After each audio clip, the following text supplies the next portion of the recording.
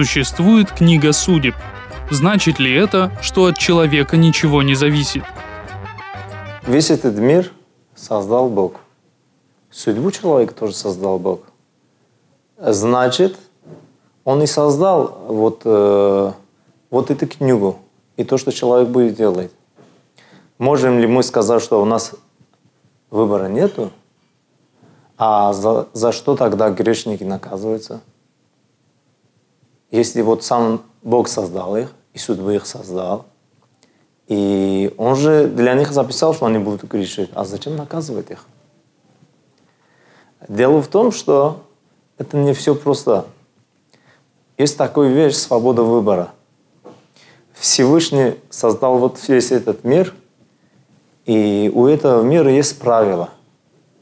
Всевышний знает все, но он не вмешивается. Он создал человека, есть у него судьба, но человек может менять это все. У человека есть свобода выбора.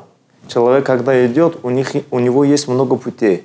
Есть путь направо, есть путь налево, есть в середине, есть еще какие-то пути. Но человек выбирает это все сам. И человеку дана Тора, чтобы он, смотрев на Тору, мог выбрать правильный путь. И тогда человек э, выбирает путь, если он смотрит в Тору. Судьбу свою может менять. От каких грехов не спасает Шува? Шува – раскаяние еврейского народа, раскаяние каждого индивидуума в своем духовном сбое помогает во всех случаях.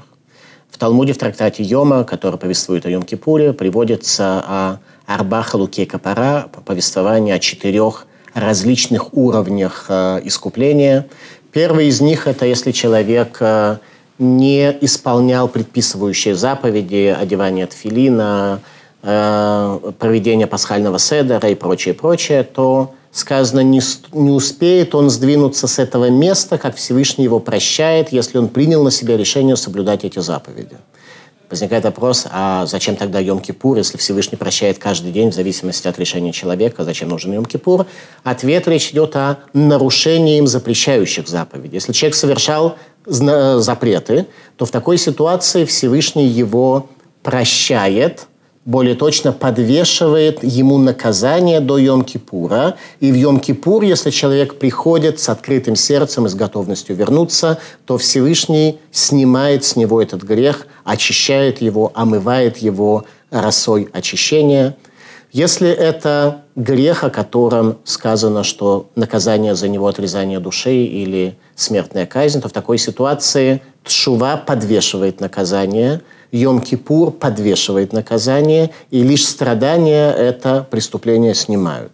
Четвертый уровень искупления – это грех, в котором замешана частью которого является осквернение имени Всевышнего. Если человек вел себя так, что в результате имя Всевышнего осквернено, что люди говорят, надо же, это человек, еврей и ведет себя вот таким недостойным образом, значит, евреи они таковы. В такой ситуации сказано, что не Тшува, не Йом-Кипур и не страдания не могут искупить этот грех, но они лишь подвешивают наказание и только мучение смерти прощает.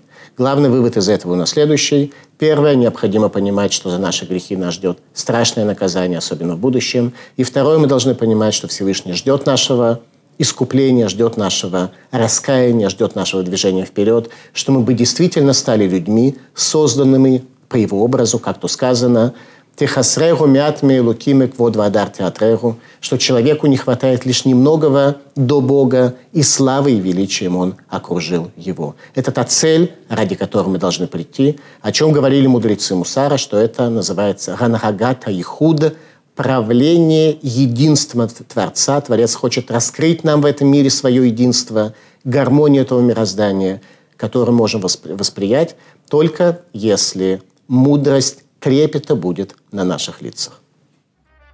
Можно ли обращаться к экстрасенсам и медиумам?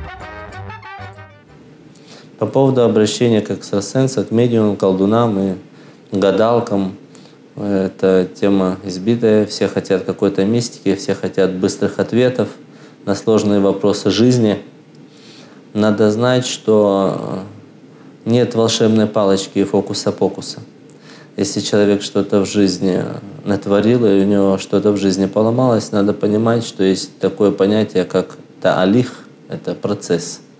Процесс излечения души, процесс излечения тела, энергетики и э, всей внутреннего состояния человека. Нельзя обойти этот процесс, и нельзя этот процесс делать через те силы, которые Тора указала, что у них есть нечистый источник. Не из-за того, что эти силы, они не могут работать. Например, у нас указывается в э, пророках такие случаи, когда люди, да, обращались и получали ответы, но суть не в этом. Суть запрета в том, что человек знал, что все силы, они поклоняются только Богу единому. И все в его силах. И не надо обращаться ни к каким посредникам, а мы обращаемся только к единому Богу в центральный его офис.